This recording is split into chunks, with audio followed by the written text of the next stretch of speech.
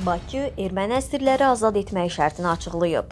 Rusiyanın Kommersant qəzeti Azərbaycanın İrəvanın əsirlər, Bakının isə terrorçu diversantlar kimi qəbul etdiyi Ermənistanın 73 vətəndaşının 3 şərtlə azad edilə biləcəyini yazıb.